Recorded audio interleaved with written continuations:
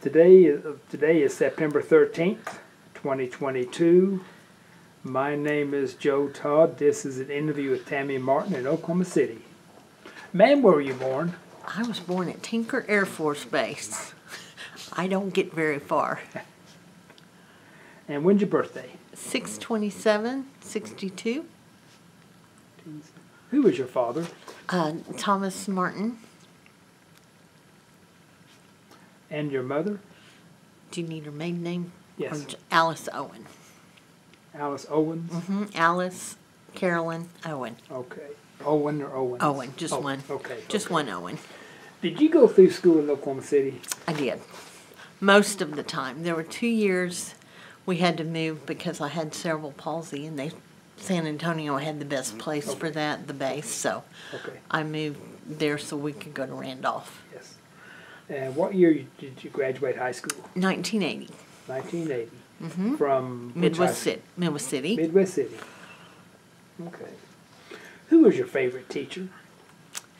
You know, this sounds really strange. My favorite teacher was actually when I was in Randolph. Uh, We went there for two years, and her name was Miss McDermott.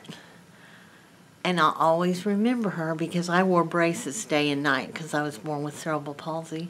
And she got me up in front of the, which would be a no-no today, but she got up, me up in front of the class and explained that this was going to help me walk better, and had all the kids ask me any kind of questions they wanted to. Okay.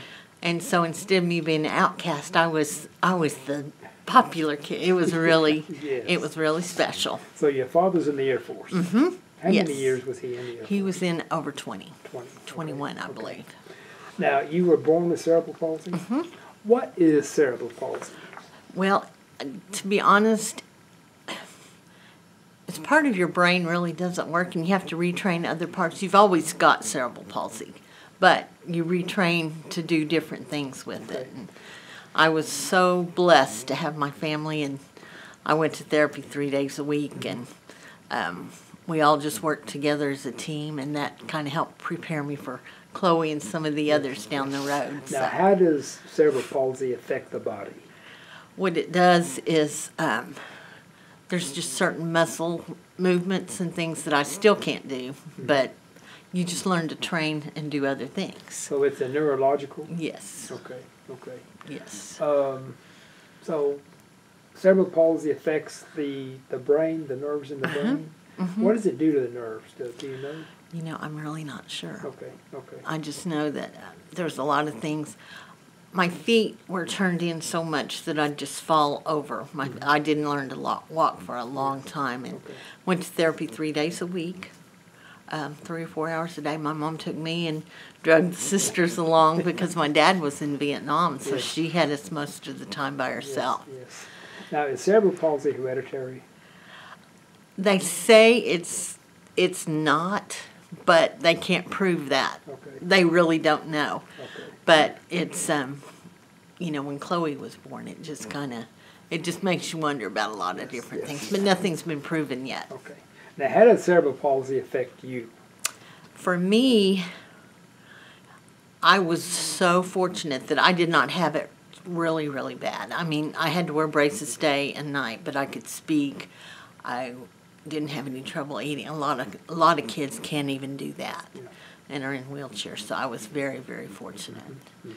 And um, I would say that's probably the main thing. Is you know roller skating, bikes, things like that. Yeah. I can't do. But you know what? There's more important things than that. So Randolph had the best. Right. They Uh, sent their children to there. We lived there, Mm-hmm. and um, they it's called it was called the CHAP program, and I'm not sure what the acronym are, Okay. but um, you go there, and they have water therapy. They have all kinds of therapists, that, and that was a long time ago. Yeah. That was back in the. 60s and 70s, so they didn't have what they do today. Now, what therapy did they do for you, for Randolph? Well, I did a lot of. There's just a lot of stretches and stuff for the legs and the arms, and um, taught me my coordination. One time, one time, mom said that we went and they were talking about cutting the Achilles and straight, and I thought that I did, only heard part of it, I guess, because I thought they were going to cut my legs off. But as you can see, they have not, and everything worked out really well. Did they well. cut the Achilles tendon? no, Okay. no, they didn't have to do that, Okay. but they had to. They do a lot, did a lot with the legs, Okay. the legs mainly. How long did it take? How much? How, how long did it take the therapy to, for, to improve your functions? I wore braces, and the, I started. I got out of my braces, I believe I was 12. So I wore them day and night from age two or three to 12. Okay. And how old were you when you went to Randolph? Um, first grade. First grade. Mhm. Now tell me again about the teacher. What did the teacher do? Well, it, like I said, it would be a no no now, but she was just wonderful. She had me come up in front of the class and just introduce me. You know, because I mean, that was first grade. I was scared to death anyway. I didn't know anybody. And uh, she told me that these were my braces and these were going to be my legs. And we, um, she told the kids, she said, this is going to help her walk. There's, it doesn't mean, you know, she was just concerned with the bullying and stuff. Then she had the kids ask me questions, and this lasted the whole day. And the next day, though, I felt like, Mom, I can't wait to go to school. I've got all my new friends, and you know, it was it really made a difference in my life. Yes. Okay. So I was just so blessed to have her and many, many teachers. She wasn't, I've had many teachers here too that were just wonderful. But that's an experience I'll never Okay. forget. Now, how does cerebral palsy affect you today? You know, I really don't have any, I mean, I've got a lot of physical problems, but Yeah. it doesn't have anything to do with cerebral palsy. Okay. So I've just, we've just kind of overcome and done the best we can. And I show Chloe some exercises and stuff that might help her. Yeah. And it's just a cycle. So they literally rewired the brain. Right. Yes. And Okay. that that was just a wonderful way to put it. It's just you you teach other parts that can't do something how to do it and so Okay. Okay. Uh, what'd you do after high school? well I went um, by that time I was there you couldn't stop me. um, but I've I've had I've only had a couple of jobs in my life and um, I went to um, Rose State and I went to UCO and then I went back to Rose State to work, and I've worked there. I'm retired now. I just retired in June. Haven't got to enjoy it yet because I've been sick, but we're going to get there. I know Yeah, we will. Yeah. Um, but I'd worked at Rose State for over 30 years. What'd you do there? I worked in payroll. Payroll. I worked several different other places, but payroll I was there for probably 15 years. So that was that was my niche. Okay. I'm terrible with math. Don't know how I ended up in payroll, but we got her done. okay. Now, so you got your degree in what subject? I don't have a degree. Oh, you- Um, well, I've got my associates, Okay. and then I've just got a few more, few more hours to get my bachelor's at UCO. But I've been, I've had heart and all kinds of different things that I've been sick with, and I had to keep dropping out. So I just decided Yeah. we're just gonna take it a day at a time. So, I haven't gone Your associate's degree is in accounting, No, my associate's degree is in psychology. psychology. Uh-huh. Okay. Okay. Now, the heart problem is that due to cerebral palsy? I don't think so. Nothing's ever been. I mean, I've got heart, I've got Crohn's, I've got um, just a, a bunch of different things. Yeah. Um, arth, you know, arthritis, don't we all? But but it just it. I don't think it has anything to do with. Mm-hmm, And it may be because I'm my immune system, you know, is just shot with, but nothing we can't handle. Why is your immune system? See, I don't know. I mean, I've like I said, I've got well, my immune system is from the Crohn's? But I've got Crohn's and I've had heart and I've had cancer. They've taken out my colon and all that good stuff, but nothing has been proven to be related to anything Now, else. what is Crohn's disease? What is that? What is that? Okay, it's an autoimmune disease. It ex- your stomach. You just you can't digest, which is not good. Yeah.